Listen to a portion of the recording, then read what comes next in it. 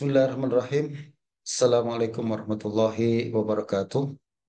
Alhamdulillah Rabbil Alamin Wassalatu wassalamu ala Sayyidina Mursalin Sayyidina Maulana Muhammadin wa ala alihi wa sahbihi ajma'in Alhamdulillah segala puji bagi Allah Subhanahu wa taala yang memperjumpakan kita pada uh, kali ini dalam sebuah uh, program seminar antarabangsa Ali Sunnah wal Jamaah tahun 2024 dan pertama-tama saya ucapkan banyak-banyak terima kasih kepada pihak penganjur terutamanya Eh, sahabat saya, Profesor Madya Dr. Hasrul dan Dr. Rashidi yang pernah berjumpa pada tahun yang lepas uh, dengan saya di Pineng untuk uh, berbincang berkenaan dengan penganjuran program ini dan Alhamdulillah Allah Subhanahu wa taala mengabulkan dan mewujudkan apa namanya uh, rancangan yang telah dirancang tersebut. Dan pada kali ini, uh, tajuk perbincangan saya adalah Imam Al-Baihaqi dan Manhaj Akidah Al-Hadis di Nisabur.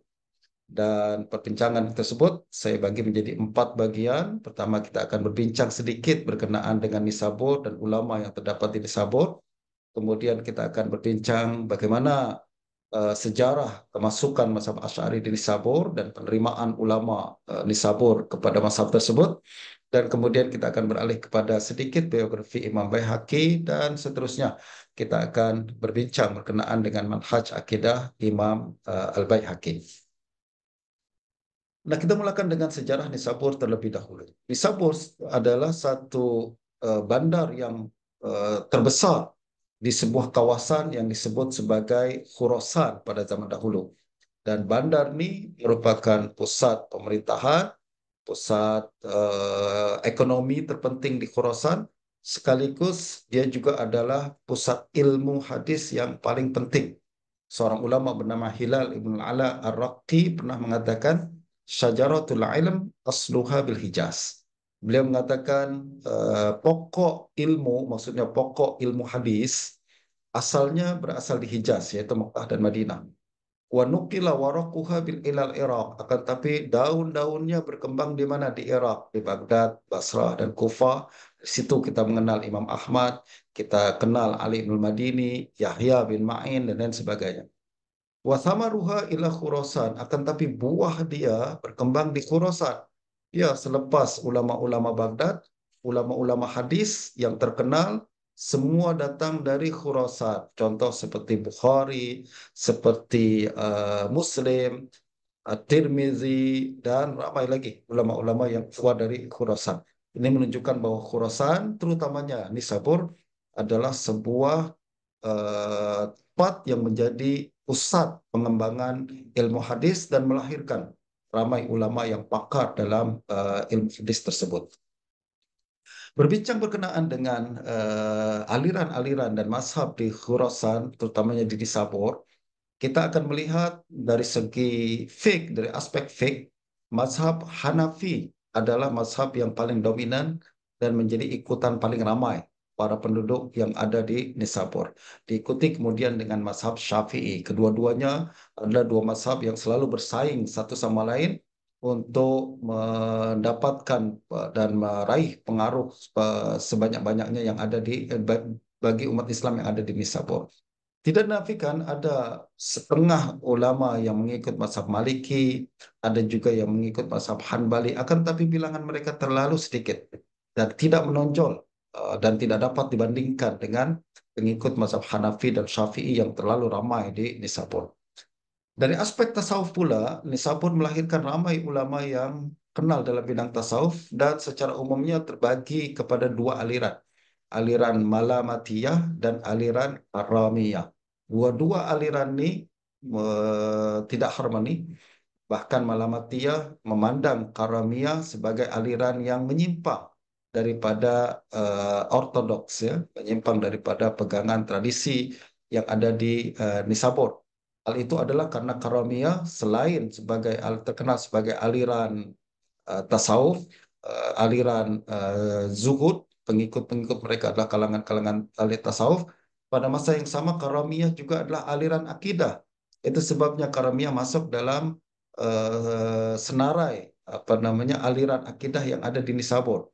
Mereka mengajarkan akidah yang menyimpang sebab mereka menetapkan Tuhan sebagai uh, jisim dan uh, tidak ada apa namanya keraguan, tidak ada perasaan uh, sukar atau untuk mengatakan bahwa Tuhan adalah jisim, memiliki sifat-sifat makhluk dan lain sebagainya. Nah, itu sebabnya ulama Nisabur pernah mengeluarkan fatwa agar pengasas Karamiyah yaitu Muhammad Ibn Karam ditangkap lalu dibuang ke uh, luar uh, negeri ya, ke luar uh, Nisabur. Nah, selain Karamiyah ada beberapa aliran uh, akidah yang turut berkembang di Nisabur, ya, terutamanya adalah Mu'tazilah, juga ada Syiah, macam mana pun, majoriti ulama Nisabur adalah pengikut akidah Ahlussunnah wal Jamaah atau pengikut akidah Ahlul Hadis. Nah, berbincang berkenaan dengan Ahlul Hadis, kata Imam uh, Ibnu Salah, beliau mengatakan uh, sebutan Ahlul Hadis atau sebutan Mazhabul Hadis apabila disebutkan di Nisabo dan juga di Khurasan secara amnya, maka kalimat tersebut merujuk kepada ulama mazhab Syafi'i. Apabila disebut ashabul hadis, maksudnya adalah ulama mazhab Syafi'i. Apabila disebut mazhabul hadis, maka yang dimaksud adalah mazhab Imam Syafi'i. Ini menunjukkan bahwa pada masa uh, pada abad 3, 4 dan 5 Hijrah, uh, mazhab Syafi'i sudah betul-betul bercampur dengan hadis tak ada lagi uh, apa namanya kalangan yang melihat bahwa mazhab Syafi'i bukan mazhab sunnah atau mazhab Syafi'i tidak berasaskan hadis. Tak, sebaliknya mereka seolah-olah sepakat bahwa mazhab Syafi'i adalah cerminan daripada sunnah dan cerminan daripada mengikut hadis dengan sebaik-baiknya. Itu sebabnya dua-duanya seolah-olah seolah-olah telah bercampur satu sama lain. Jika disebut hadis, maka dimaksudnya adalah Imam Syafi'i mazhab Syafi'i disebut apa namanya ashabul hadis maksudnya adalah para ulama dalam kalangan yang mengikut mazhab Imam Syafi'i. Nah, berbincang berkenaan dengan ulama hadis yang ada di Nisabur, kita mengamati mereka pun bukanlah satu kumpulan yang satu padu yang yang sama uh, dalam semua perbahasan dan aspek uh, akidah dan lain sebagainya. Akan tetapi lembaran sejarah menunjukkan kepada kita pernah berlaku beberapa polemik di kalangan ahlul hadis yang ada di Nisabur berkenaan dengan isu-isu akidah, topik-topik akidah. Pada tahun 250 Hijrah misalkan pernah berlaku polemik antara Muhammad bin Yahya Az-Zuhli, pemimpin ahlul hadis yang ada di Nisabur, dengan Imam Al-Bukhari kenaan dengan isu lafaz Al-Quran. Adakah dia makhluk atau tidak makhluk? Uh, kisah ini begitu panjang. Poinnya adalah Imam Al-Bukhari kemudian dipulaukan, lalu kemudian terpaksa keluar daripada Nisabur dan bahkan meninggal di kampung halamannya tidak lama kemudian. Dan pada tahun 300 Hijrah, maknanya kira-kira lima dekad kemudian, kembali tercetus polemik di kalangan alul hadis Kali ini berlaku antara Imam Ibn Khuzaimah dan murid-murid beliau, yaitu Abu Ali As-Saqafi, Abu Bakar As-Sibri, dan beberapa orang yang lain. Mereka ini adalah ulama hadis dan fiqh sekaligus. Dan mereka terpecah atau berlaku polemik akibat isu akidah tertentu. Dan menurut Imam Az-Zahabi dalam Tazkiratul Hufaz, beliau mengatakan As-Saqafi menyalahi gurunya yaitu Ibnu Khuzaimah dalam beberapa isu akidah dan sampai akhir hayatnya beliau tidak menarik pandangan tersebut. Beliau teguh, tegah, eh, teguh dan eh, kekal berpegang kepada pegangan akidah yang beliau yakini walaupun dipulaukan, walaupun diboykot oleh para pengikut Imam Ibnu Khuzaimah. Nah, kedua-dua insiden tersebut, tuan-tuan, menunjukkan kepada kita bahwa ulama hadis di Nisabur, mereka sekurang-kurangnya terbagi menjadi dua kumpulan.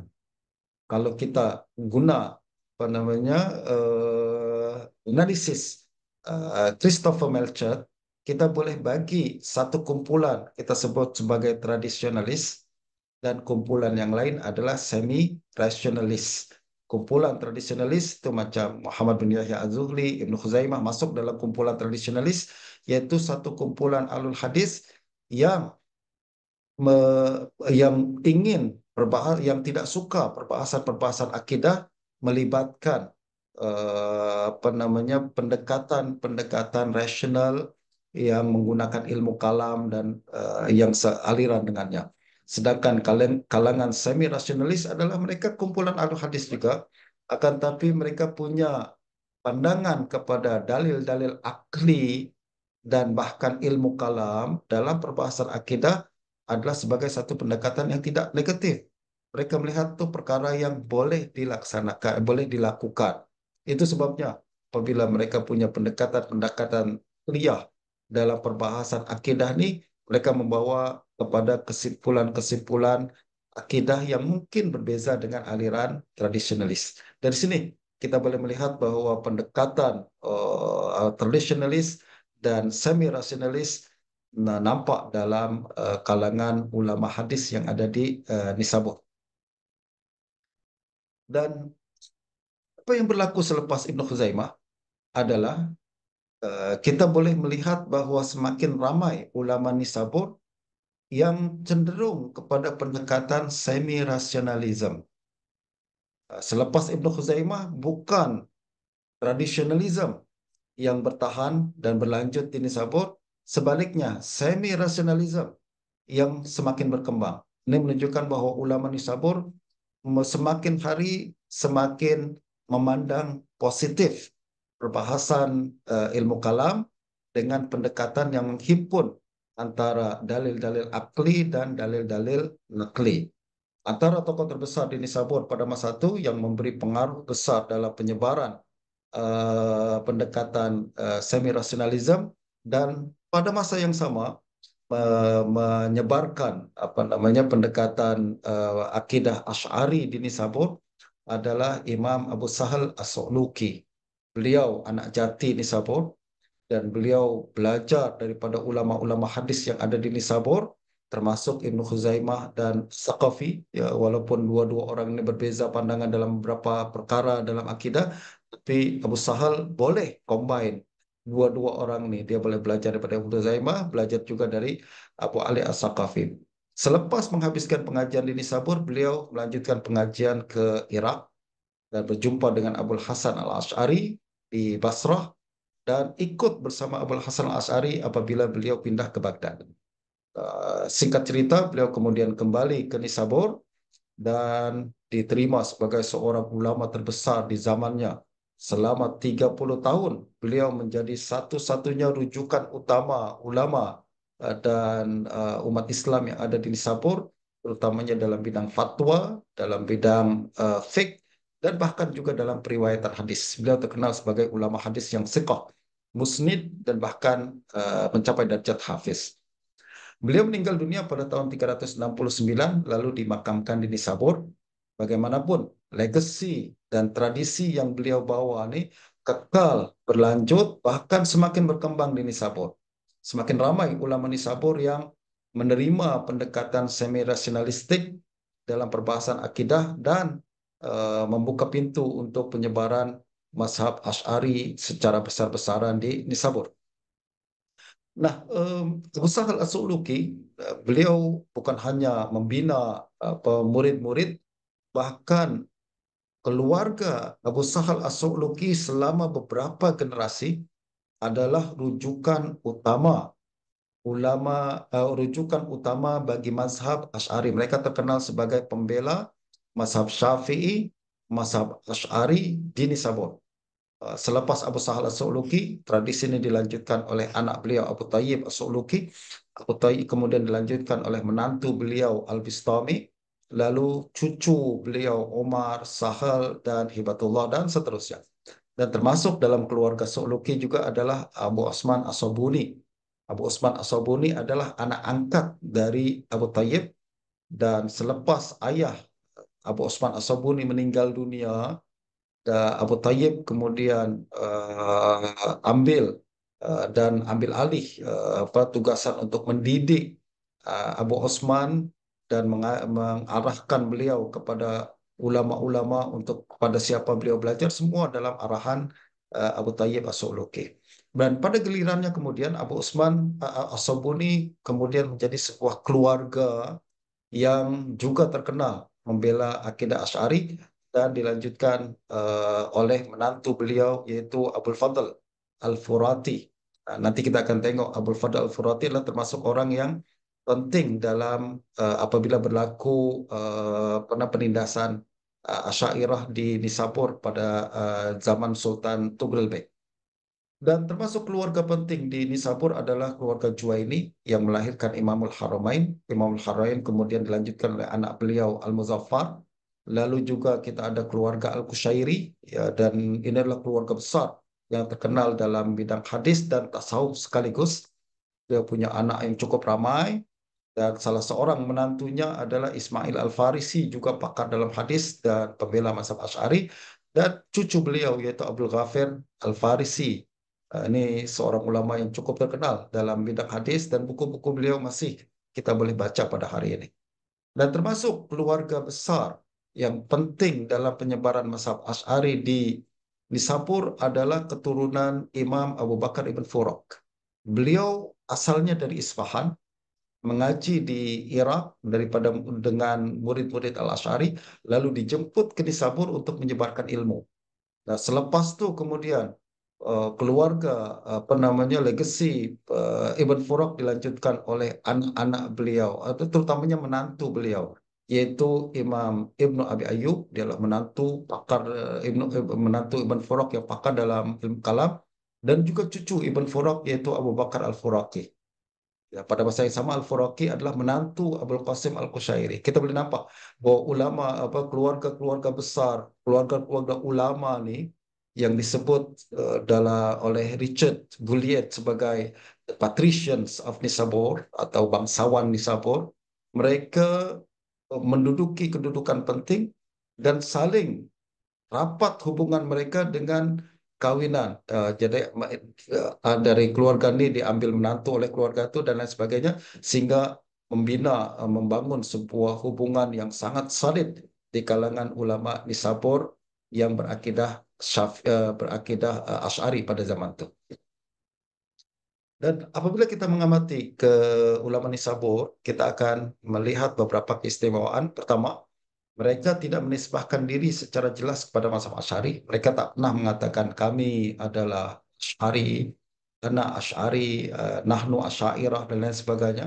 Sebaliknya, mereka memandang Abul Hasan Ash'ari bukan sebagai pengasas mazhab akan tapi sekedar pelanjut daripada tradisi ulama yang mempertahankan akidah ahlus sunnah dengan menggunakan hujah-hujah semi rasionalistik.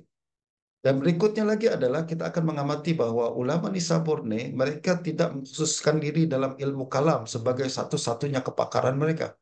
Sebaliknya, mereka secara asasnya adalah ulama hadis dan ulama fiqh yang menggunakan ilmu kalam hanya apabila diperlukan. Justru kalau kita tengok biografi uh, ulama Asy'ariyah macam uh, Abu Bakar Al uh, Abu Bakar Ibn Furak misalkan, beliau walaupun terkenal sebagai ulama kalam tapi sebenarnya mereka, beliau adalah orang yang sangat terpandang dalam periwayatan hadis. Hadis-hadis yang beliau riwayatkan boleh kita jumpai dalam buku-buku Al-Baihaqi, buku-buku Abdul Qasim Al-Qushairi dan lain-lain sebagainya. Begitu juga Imam Abu Ishaq Al-Isfirayini. Beliau walaupun terkenal sebagai ahli kalam, pakar dalam ilmu kalam, sebenarnya beliau adalah orang perawi hadis yang sangat siqah dan hadis-hadisnya pun berlambak kita boleh jumpai dalam kitab-kitab hadis uh, para ulama. Ini menunjukkan bahwa uh, walaupun mereka kenal sebagai ahli kalam Ash'ari, akan tapi sebenarnya mereka adalah itu adalah apa namanya profesi sampingan mereka. Profesi utama mereka adalah pakar dalam fik, pakar dalam hadis. Kalau diperlukan, ah, mereka juga memiliki kemahiran dalam uh, ilmu kalam. Uh, justru uh, tidak betul apabila setengah orang memandang kalau si fulan macam Ibn Furaq adalah ahli kalam maknanya tak mengerti hadis ilmu ahli kalam maknanya bukan uh, tidak memahami sunnah dan lain sebagainya. Tak eh, sebenarnya yang berlaku adalah mereka paham dan pakar dalam hadis lebih dahulu sebelum mereka uh, ber, uh, ber apa namanya mencebur uh, menceburi diri mereka dalam bahasan uh, ilmu kalam.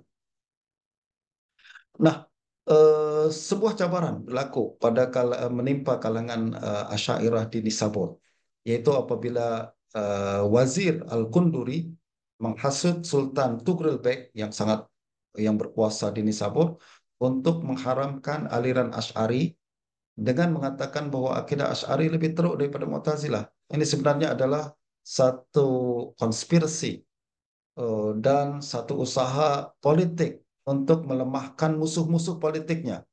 Sebab uh, tadi kalau kita tengok uh, keluarga Su'luki adalah keluarga yang paling powerful dan terpandang di Nisabur.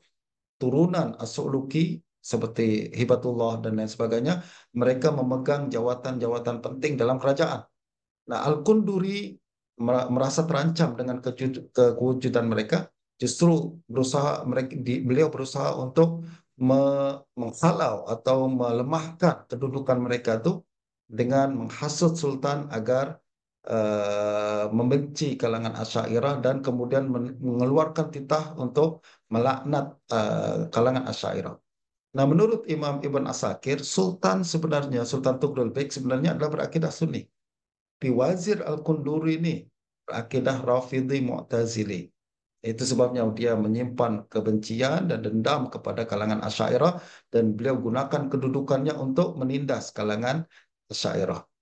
Akibatnya pada tahun 445 Hijrah, Sultan Tughril Bek memerintahkan semua khatib Jumat melaknat Abdul Hasan Al-Asy'ari di mimbar dan sekaligus menyekat ulama Syairah. Antara kesannya adalah ramai ulama-ulama Asy'ariyah yang dihalang daripada mengajar bahkan dipecat daripada jawatan mereka. Imam Asabuni yang semula sebagai khatib di sebuah masjid besar di Nisabur terpaksa melepaskan jawatan tersebut.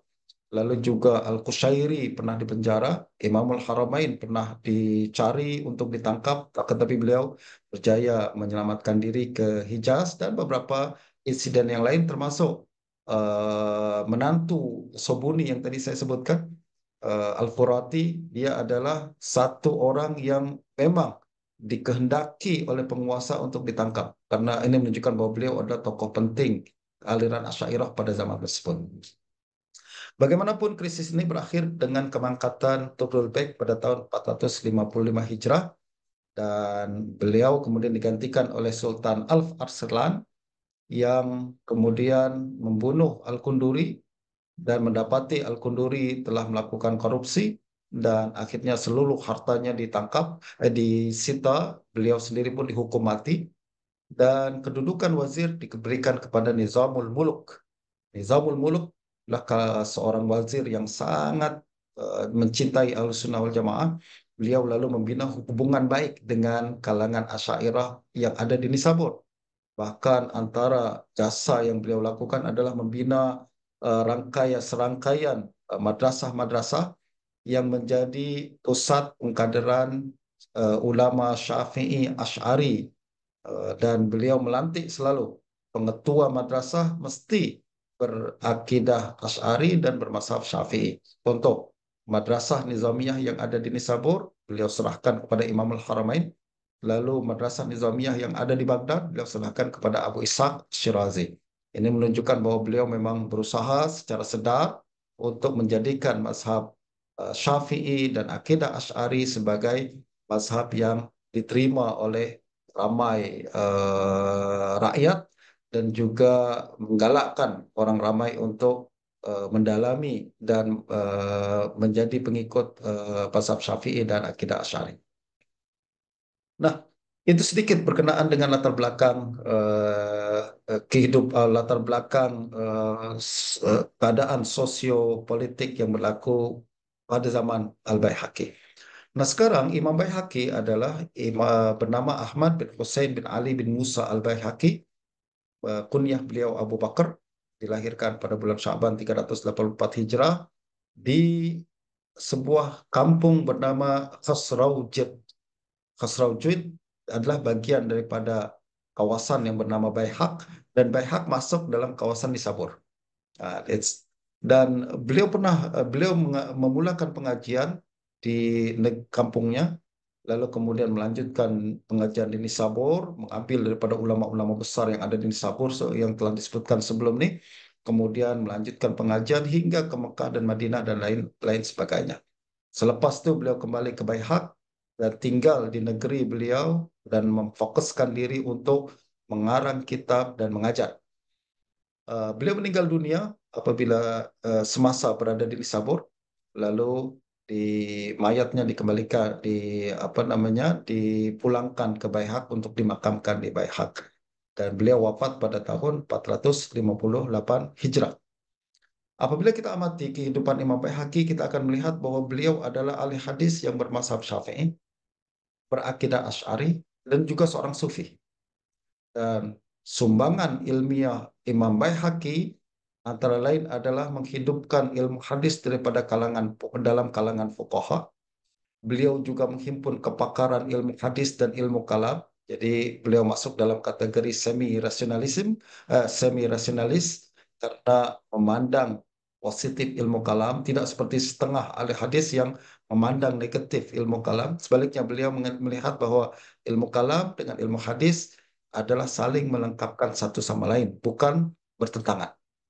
Dan beliau juga membuktikan bahwa uh, fik syafi'i dan akidah Ash'ari boleh berjalan seiringan dan eh, sekaligus membantah pandangan sesetengah kalangan yang memandang sinis kalau ada seorang bermazhab syafi'i berakidah Ash'ari. Beliau mengatakan tak boleh macam itu sebab syafi'i tidak berakidah Ash'ari.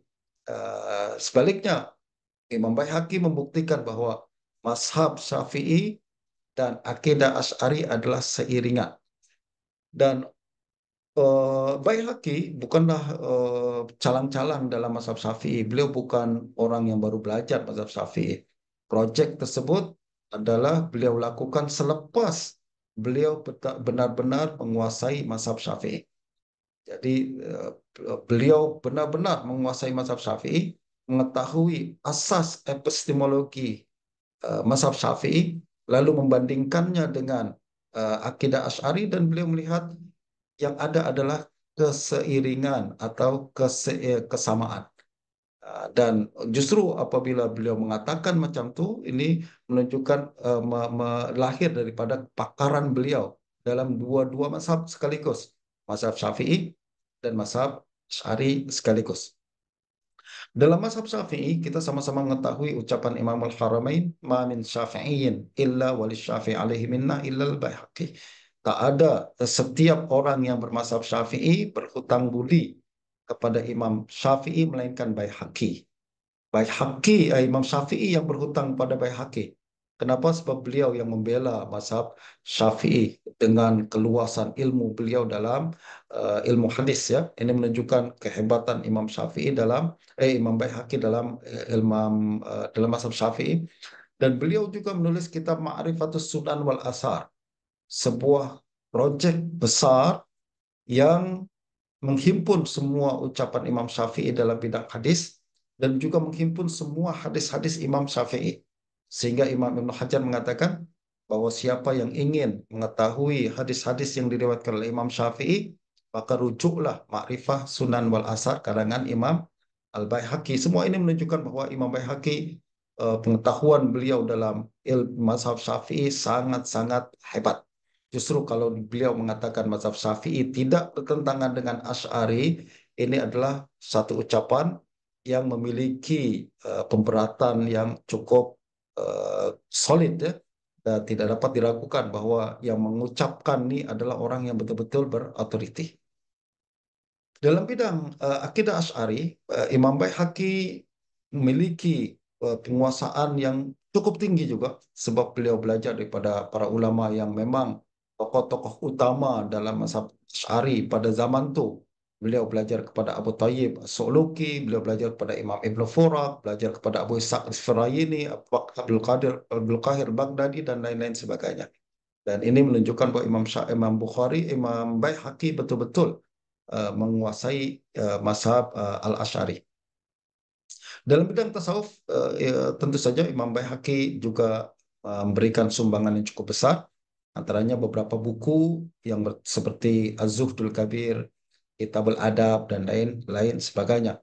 Dan dari sini kita boleh melihat bahwa ulama Nisabur, tuan-tuan ya, dia menghimpun tiga unsur utama dalam Ahlus Sunnah wal Jamaah, yaitu fiqh Syafi'i, yang ke fik bermashab sama ada Syafi'i atau lain sebagainya.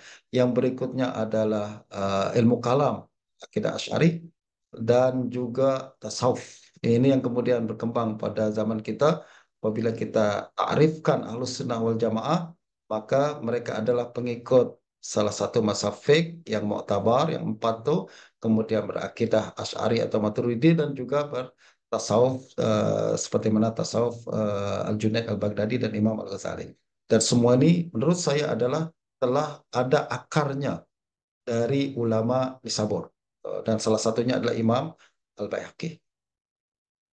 Nah berikutnya adalah bagaimana manhaj Imam, akidah Imam uh, Al-Baihaqi. Perbahasan ini tuan-tuan, saya uh, fokuskan kepada perbincangan berkenaan dengan kitab Al-Baihaqi yang bertajuk Al-I'tiqad wal Hidayah ila Sabilir Rasyad.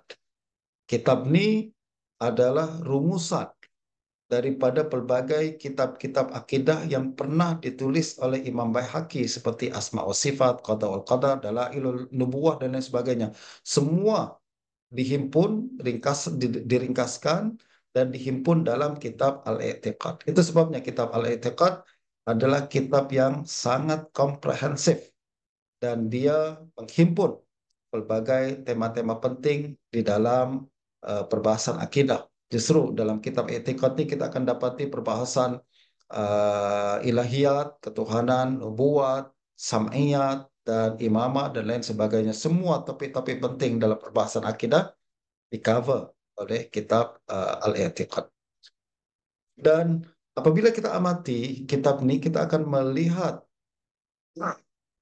kita akan melihat bahwa kitab ini menzahirkan pendekatan semi-rasionalistik ahli hadis, yakni bukan pendekatan sesetengah ahli hadis yang fokus hanya kepada riwayat saja. Kita akan mendapati bahwa Imam Baihaqi memberikan penekanan kepada riwayat, pada masa yang sama juga memberikan penekanan kepada aspek analisis rasional dia atau nazar dia, analisis nazar dia. Nah, ini yang kemudian yang kita sebut sebagai pendekatan semi rasionalistik.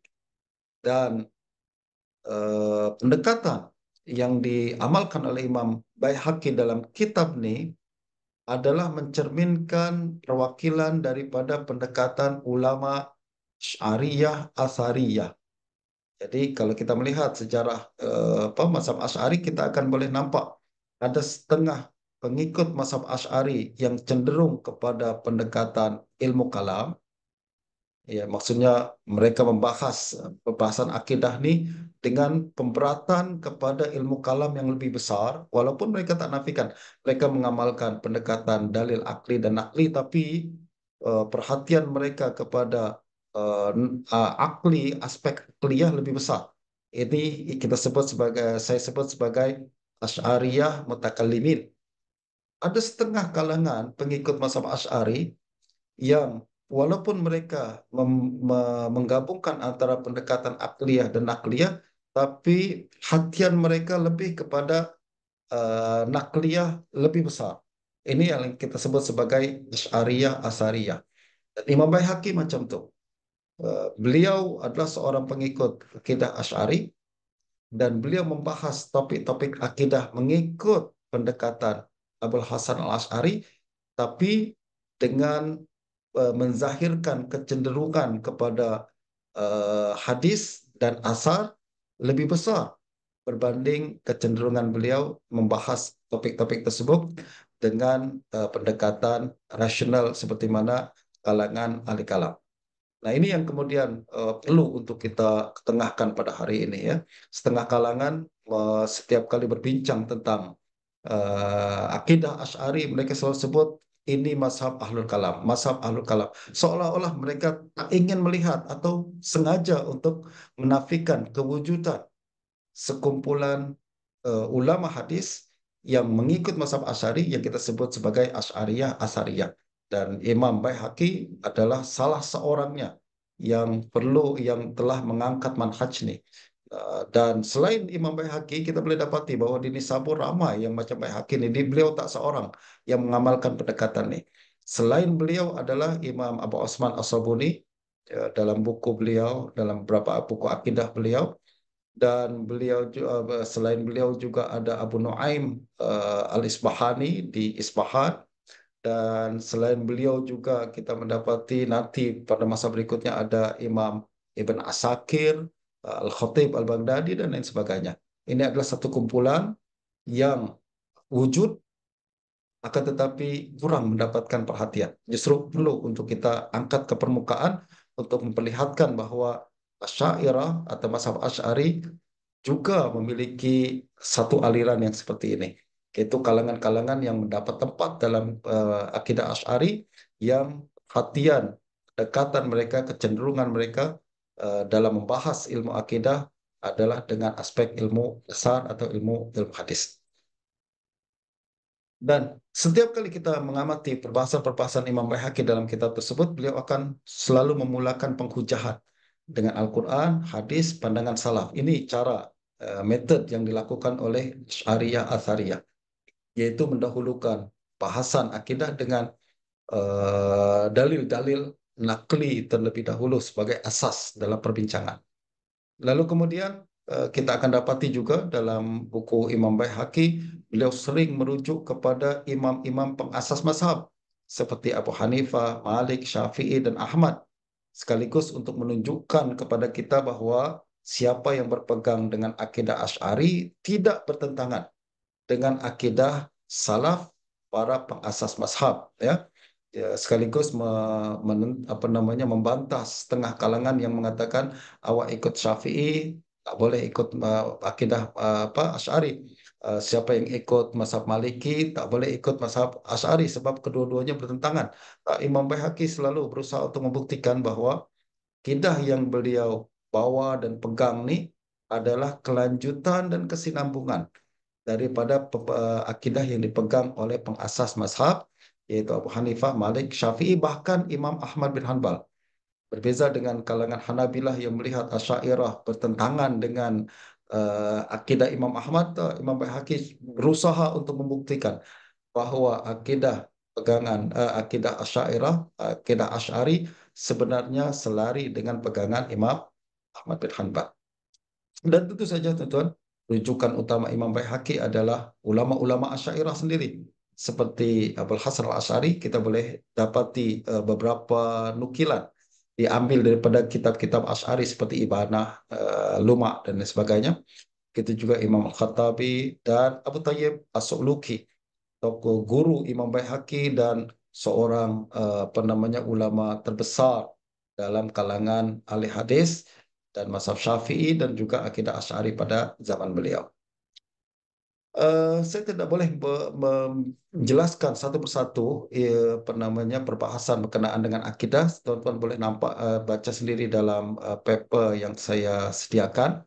Akan tapi uh, ada beberapa akidah uh, topik-topik akidah yang terdapat dalam uh, uh, fiqh dalam buku Imam Baihaqi adalah topik akidah yang disepakati antara dua aliran yang saya sebutkan tadi, yaitu aliran mutakallimin dan aliran asariyah dalam mazhab Asy'ari. Seperti penetapan sifat zat dan sifat fi'il bagi Allah disepakati oleh dua-dua aliran tersebut dalam kalangan Asy'ari ini. Dan menetapkan kalam nafsi sebagai sifat Allah yang kadim juga disepakati. Bacaan Al-Quran dan adalah perbuatan manusia yang bersifat makhluk walaupun Al-Quran kalamullah tapi bacaan manusia ketika membaca Al-Quran tentulah makhluk lalu Allah dapat dilihat di akhirat juga disepakati uh, pelaku dosa besar tidak kafir juga tidak uh, disepakati. Mereka menetapkan syafaat Nabi juga disepakati di kalangan uh, dua aliran tersebut. Dan menetapkan karamah wali juga disepakati oleh dua aliran mutakalimin dan uh, asyairah uh, mutakalimin dan asariyah dalam kalangan mazhab asyari. Hanya satu orang dalam ulama nisabur yang ada pandangan seolah-olah menafikan adanya karamah wali yaitu Abu Ishaq al-Isfarayini. Para ulama berbincang berkenaan dengan apa hakikat sebenar pandangan Abu Ishaq. Adakah beliau menafikan karamah secara uh, 100% ataukah beliau menafikan hanya sebagiannya saja? Tuan-tuan boleh baca dalam uh, paper yang saya sediakan. Ada beberapa selain itu ada beberapa topik yang kita nampak ada perbezaan antara kalangan mutakallimin dan asariyah dari mazhab eh, Asy'ari. Jadi yaitu sebagai contoh adalah kewajiban pertama seorang mukallaf. Menurut alul hadis Asy'ariyah atau Asy'ariyah Asariyah, kewajiban pertama seorang mukallaf adalah iman dan ikrar dengan lidah. Ini disebutkan oleh Imam Baihaqi dalam kitab I'tiqad. Pada masa yang sama, kalangan mutakallimin Asy'ariyah mereka seolah-olah mengatakan bahwa kewajiban pertama adalah berfikir nazar. Ini perkara ini disebutkan oleh Imam Ibn Furaq. Perkara ini juga disebutkan oleh Imam uh, apa namanya Imam Al Haramain. Bahkan ini juga disebutkan oleh Imam Al Baqilani ya. Apabila beliau mengatakan kewajiban pertama seorang mukallaf adalah nazar, berfikir yang membawa kepada iman. Uh, sebab kalau orang tak beriman, macam mana orang boleh beriman kalau dia tak mulakan dengan berfikir terlebih dahulu. Walaupun nampak tidak berlaku perselisihan di sini, sebenarnya dia adalah perselisihan yang tidak hakiki. Kedua-duanya sepakat sebenarnya, cuma berbeza dalam ungkapan saja, khilaf lafzi saja. Begitu juga perbahasan berkenaan dengan ayat dan hadis mutasyabihat kita boleh dapati bahawa alul hadis macam baik haki dan Sobuni dan lain sebagainya mereka mengharuskan takwil dan tafwid namun lebih cenderung kepada tafwid. Ya, ini kita boleh dapati dalam ulasan Imam Baihaqi dalam I'tiqad beliau benarkan takwil dan tafwid walaupun beliau lebih selesa kepada tafwid. Pada masa yang sama ahlul kalam macam uh, Abdul Qahir uh, Al-Baghdadi uh, macam Imam Al-Haramain dan uh, beberapa ulama kalam lainnya, mereka mengharuskan takwil dan tafwid juga tapi lebih cenderung pada takwil. Uh, ini perbezaan sikit saja menunjukkan bahawa dua-dua kalangan sepakat sebenarnya cuma berbeza dalam kecenderungan saja. Pada masa yang sama mereka sepakat bahawa siapa yang tafsirkan ayat atau hadis mutasyabihat atau hadis-hadis sifat tersebut dengan makna zahir adalah menyimpang daripada al-sunnah wal jamaah. Ya. Yang berikutnya adalah uh, khilaf berlaku dalam definisi iman. Kalangan alul hadis termasuk Imam Baihaqi menetapkan bahawa iman adalah percaya dengan hati, ikrar dengan lidah dan beramal dengan tubuh badan. Akan tapi kalau kita tengok perbahasan ahli kalam seperti Imamul Haramain dan Imam Baqilani, kita akan dapati bahawa mereka mendefinisikan iman sebagai tasdik, yaitu membenarkan saja. Bermakna bahawa ikrar dengan lidah dan amal dengan tubuh badan bukan bagian daripada iman. Menurut Imam Abu Bakar bin Furaq, ini pun khilaf lafzi. Sebenarnya isunya bukan mereka menafikan bahawa ikrar dengan lidah bukan bagian daripada iman, bukan suatu kewajiban ya satu kewajiban akan tapi dia masuk dalam uh, makna iman secara apa namanya logoh dan istilah atau tak? Ini yang menjadi perbincangan. Tapi mereka tetap menafikan uh, mewajibkan kalau seorang beriman tentulah mesti membuahkan ikrar dengan lidah dan juga amalan dengan uh, tubuh badan. Saya tak boleh ulas uh, panjang tetapi saya hanya menunjukkan beberapa poin-poin tertentu yang uh, membuka perbincangan kita untuk ulasan lebih lanjut. Saya galakkan rakan-rakan sekalian untuk rujuk kepada paper yang telah saya sediakan oleh karena keterbatasan masa. Terpaksa saya hanya memberikan ringkasan-ringkasan saja mudah-mudahan memberikan kepahaman yang baik dan menunjukkan kepada kita hakikat berkenaan pegangan akidah Imam Baihaqi dan juga akidah yang menjadi pegangan alul hadis yang ada di Nisabur pada masa beliau. Kita berjumpa semula pada masa akan datang. Sallallahu alaihi wasallam. Assalamualaikum warahmatullahi wabarakatuh.